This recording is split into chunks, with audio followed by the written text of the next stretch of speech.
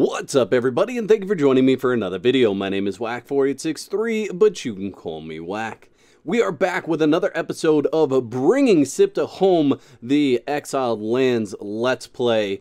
We're going to jump right into this episode and I'm going to show you around the base first. So I have made some changes here. As you can see, not a whole lot outside to show you, but inside I have started the framework of what the inside is going to look like. I've also gone through and done some dyeing on the thralls outfits because I, well, this one I wasn't able to tell which thrall it was when I was fighting the Cimmerians in the Mounds of the Dead, so now I should be able to tell where she is pretty easily. I put the framework in for the first room, the great hallway. I did move some things in here. I've also made a whole bunch of preservation boxes so that I can keep all my food organized. You can see that there. Over here, just a little bit of changes where I took stuff out and moved it into another area. This will continue to evolve as I go. And then this area here, pretty much the same as well. I did finally place my bearer and I went and did some massive farming runs with the bearer so uh, that's good. I also placed an animal pen here. As you can see we have a nice animal pen.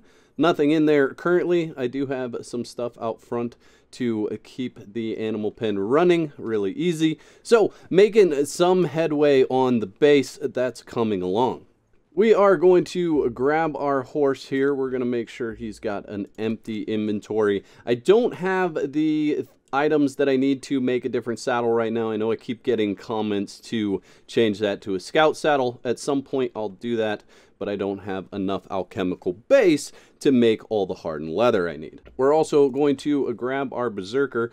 We are going to feed her some steak. I really want to focus her on getting some more vitality, so we'll do just like that. And if we look at her stats, she did get unflinching, which is some additional agility. The horse is also leveled up again and got some vitality, so that's good. Today, what I'm going to do is I'm going to head right over here, and I'm actually going to do the Midnight Grove dungeon. I will learn the new religion in there as well. That way, we have that religion in our list of things that we know. And I want to know in the comment section of this video, what religion do you think I should build first? But without further ado, let's get into this episode. Okay, so we have reached the area. Now, before I go over and talk to the dude that's right over there, I am going to take out whatever is still following me here. So we'll deal with this guy. Okay, we won't deal with that guy. Let's deal with this guy. There we go. That's pretty quick. And then this one as well. Okay, he's dead. Cool. We are going to uh, chop him up. I did make star metal tools for everything. I think this is probably the best way to go for this. Go ahead and chop him up. We did get the flesh that we need to turn in. That way we can get into the place. But I want to go to this door. This is known as the Neebs gaming door. This is where the Easter egg is for Neebs. If you haven't heard that, you should definitely go check it out. But I do want to see what's in these chests. Gold, that is something that I need. So take that with me. Okay, so we're just going to run up to uh, this gentleman right here. There is always a scorpion behind him. And the thing is, you have to trade him some meat in order to get in there. So there's always meat in this area to get. So I never bring it with me. For those of you that are unsure where we're at, this is where we're at right here. You just walk up and chat with this guy. He will teach you Midnight Alchemist. So go ahead and learn that but I'm going to purchase a potion and then use that right away. You can see it has a very short decay timer, so make sure you are ready to go when you buy it. Now, a little trick for you, you can get water right here, but make sure that you do that with a water skin. Do not press square on that, otherwise you will be teleported back out. And let's get into this dungeon. This is a fun little dungeon, I think. It is great for a lot of hides. So if you're looking for a lot of hide, this is where I suggest you go. And we are going to get as much hide as we can while we're in here. It's also a great place to get pork. So there's some boars in here and you can just stock up on your pork.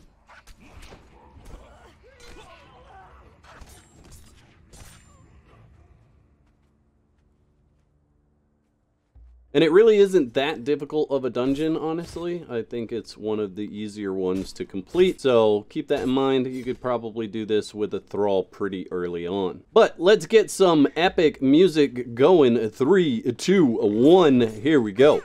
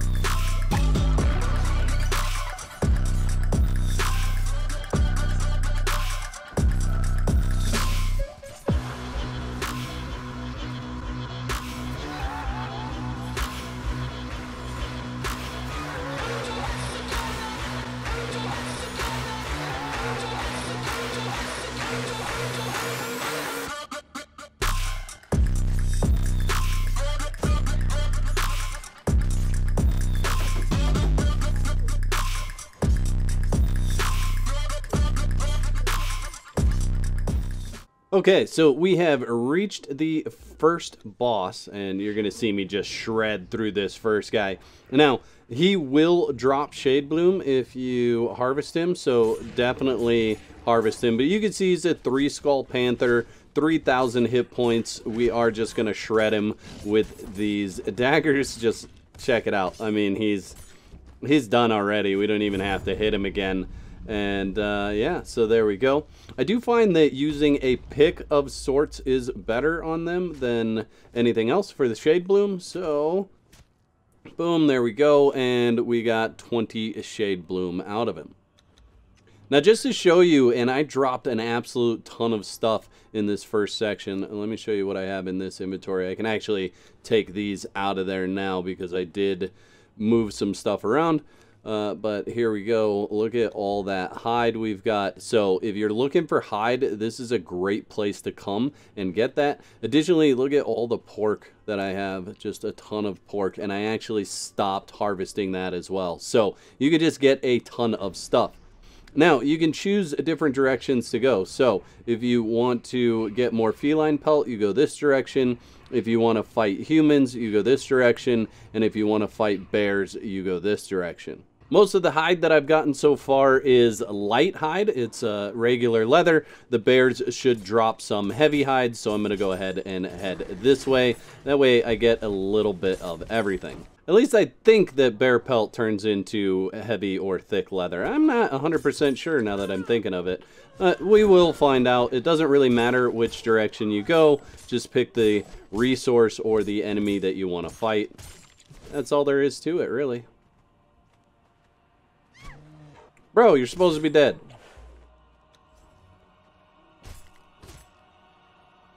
Okay, so round two of epic music. Here we go. Three, two, one. Let's go.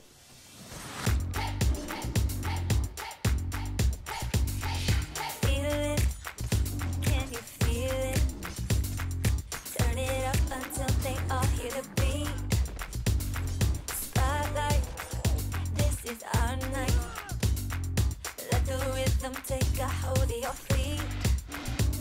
Tonight we're gonna dance.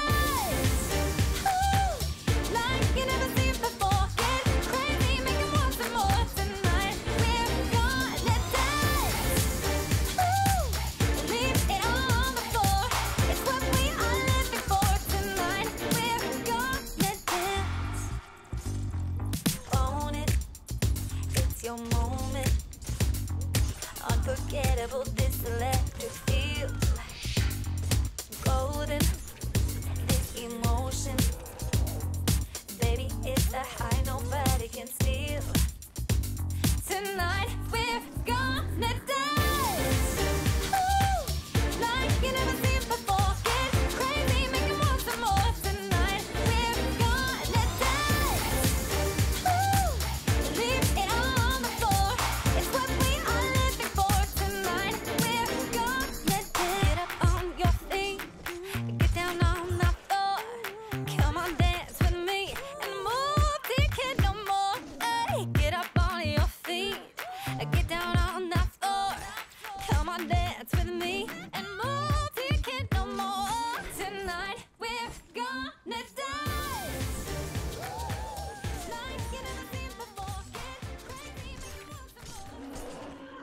Okay, so we definitely had an odd moment there where it looks like the horse teleported somewhere that he wasn't supposed to be. So uh, if we just open his inventory here, look at how much health he actually lost during that period of time. He teleported up above this cave. So do keep that in mind if you're running through here with followers and you see him disappear. They may have gone somewhere they're not supposed to be. So he just went up there and got mauled by whatever was up there and took a ton of damage. We are at the next section, so we'll go ahead and get healed up here real quick, and then we'll head in and fight whatever's in here. I will need to get rid of some of the hide that I have on me. Again, that sigil allows me to carry more when I'm injured, so when I get healthy, it then fills up, and that uh, could be a bad thing in the middle of a battle.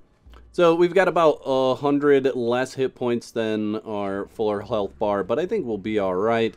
This is a Gorilla, 5,600 hit points. He is going to hit pretty hard, so you do want to stay out of the way of his hits. But just stack the poison, the bleed, whatever on him. You can see it just melts through his hit points there. Oh, the Berserker just got the full force, three hit full force. That that hit right there, if you stand there and take it, will shred your health points. So make sure you get out of the way of that. And then again, Shade Bloom, go ahead and use a pick. And we should get some. I didn't actually see any pop up. We got no Shade Bloom from him. What a jerk. At any point in time, if you want to tap out or you want to go back and get some water, you can head through the other door that opens in the boss area. So if we head back this direction, this is the portal you come in and out. So you can head back over here, grab some more water. That would lead to where we fought the panther. That's going to lead to where we fought the ape and then there's another one there. That's the next guy we're going to fight. So let's continue on from where we fought the apes, see what we want to fight next.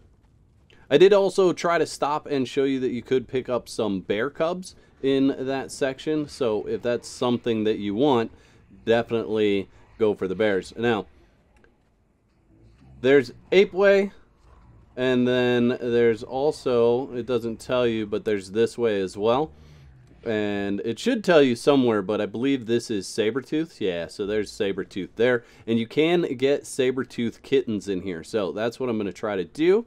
Let's get a couple of Sabretooth kitties. And you're dead there, bud. I don't know why she's not pulling her sword out. She's having some issues in this dungeon as well.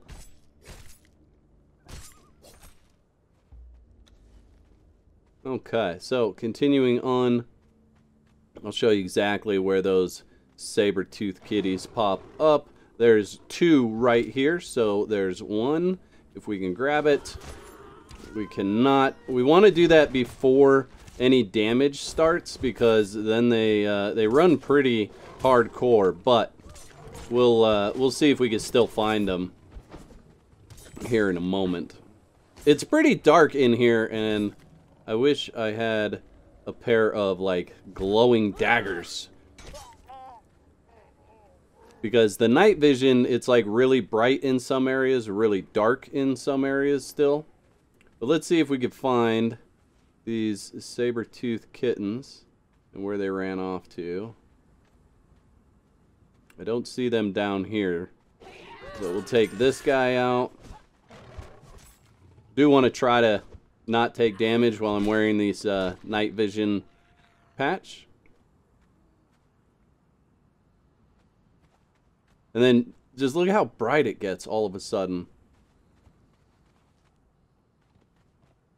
So it looks like we may have missed our opportunity on those kitties. I don't know exactly where they ran off to. It doesn't look like they ran off back this way. Okay, pretty well healed up here. I looked around for those saber-tooth kitties, didn't see them yet. I am just going to keep my eyes peeled for them, and maybe I'll see them somewhere else here. We are just shredding through whatever we come across. Can't even see this guy, just fighting a, a health bar there. Yeah, so in the dungeon, you really kind of have to be Johnny on the spot of being able to run up and pick them up before the battle starts because they just get lost in here and kind of never find them again. We are at the next boss. Now, this is the bull boss, and you do pretty much take damage dropping down. So I'll teach you guys a little trick real quick. If we just wait for him to get below us while I heal up, should be fine. She's down there fighting him already.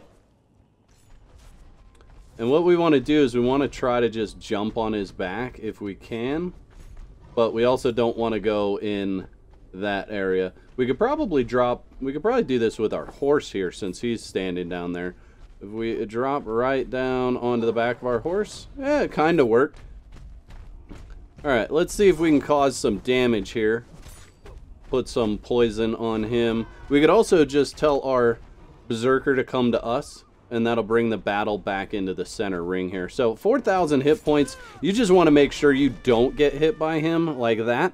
He just kind of shreds through your uh, your hit points in a hurry. Uh, there we go. We're close. Shouldn't last much longer. 347. Here we go. And dead. Alright, so that was good. I am going to hit him with the pick as well. And should get some... No Shade Bloom from him as well. Wow, I don't know what's going on with the Shade Bloom. I've only gotten the 20 from the first guy, which is a pretty random. And we're going to be fighting, looks like hyenas. Hyenas or wolves or wolves or hyenas or all sorts of things. Some sort of dog. And again, there's just tons of pelt all in through here. So definitely pick that up. If you need bunches and bunches of pelt, this is a great dungeon to come through and get that.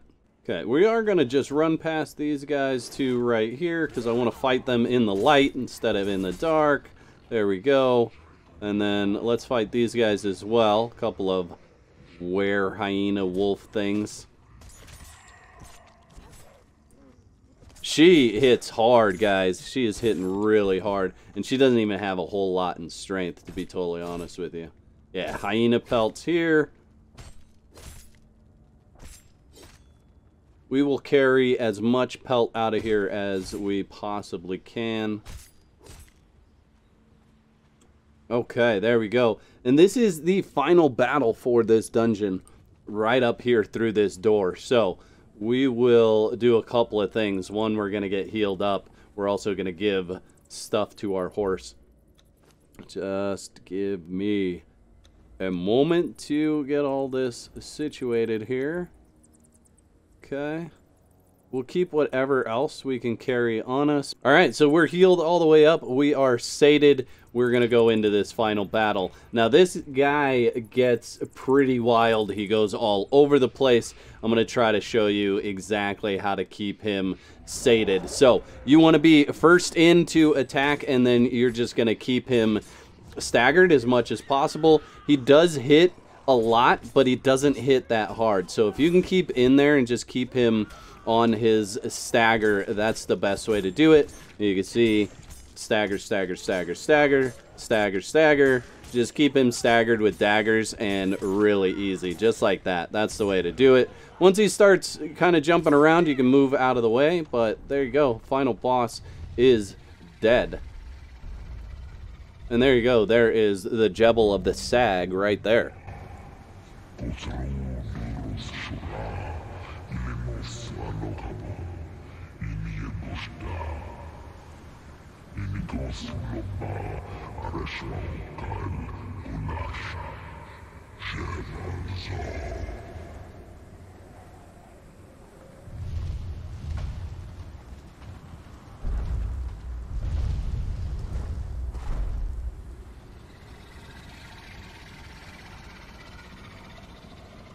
So we got bit of Shade Bloom there, another 14, and then we did get some Flesh of Remembrance. It does have about an hour and a half timer there, so we're going to eat one and we'll try to get the rest of them into the preservation box. Something you want to do before you leave here is go into behavior, set engagement, and say guard me because you do teleport into Sepermeru. So we will head right down here, interact with that, and we'll come out on the island in Sepermeru. Just like that, boom, and we have a lone fisherman cook there. If she comes out with attack all enemies on, she is going to start attacking this guy, and it's just not as much fun as being able to knock him out, should that be somebody that you want. Oh, we got a scout right right there. We're going to have to take him back to the base, I think. That is, uh, that's a thing we're going to have to do. So, let's go ahead and grab her weapon. And we'll swap it for Seth's truncheon. I'm going to use this truncheon, and we'll go ahead and knock this guy out while we're here. No reason to leave him hanging out. Okay, so I'm going to roll over here. I'm actually going to attack her while uh, while I can. She's going to die because I'm using the truncheon that kills if you're not tier 4, and he's going to fall through the map. Just like that. He's gone. Bye. Okay, so if that happens to you, if you have a thrall fall through the map, this is a really easy spot to do it, right? Because this is her down here dead. So what we're going to do, really easy, we're going to enter a dungeon. Okay, this is going to take me out of render range. Well, I can't see anything in here. Okay, out of render range. I'm going to go back out. Okay, this should bring me back into render range. And he is laying right there. You can see him laying right there. So that's an easy way to do it. Just go out of render range and back into render range. And then you should see that thrall lying on the ground. Okay. We are going to head back to the base and throw this thrall on the wheel. We'll have to place it, but I think that was a good little run. Not only did we get a ton of hide, learned a new religion, but we also get a gift thrall out the gate, which is uh, fabulous. So let's go. Okay, back at the base, and now I have to find my wheel, which I believe is in here. All the way at the bottom, it is. All right, we can grab Olina and the wheel there. And then I just have to find a place where I can actually set it. I think I think it might fit right over here. Nope, really not liking me. But I should be able to place it right down here, and it should be close enough to have a decent decay timer. Let's look. It does. We'll pop him on there like that. And then throw our thrall on. And then we just need to fill it with some food.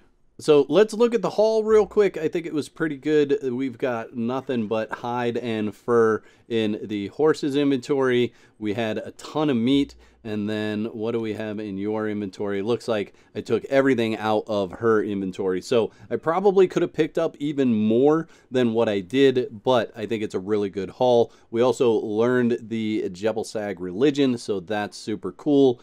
You guys remember, let me know in the comment section below which religion do you think I should use first. So if you're still watching this video, thank you so much for making it through the entire episode. And if you've put a like on this video, thank you very much for that. I certainly appreciate it. I'd like to thank all my YouTube members for your continued support. Y'all are absolute legends. If you'd like to become a legend, there's a button that says join on this page. Click that for details. There's two videos on the screen. Click one of those to watch next, and I'll meet you over there.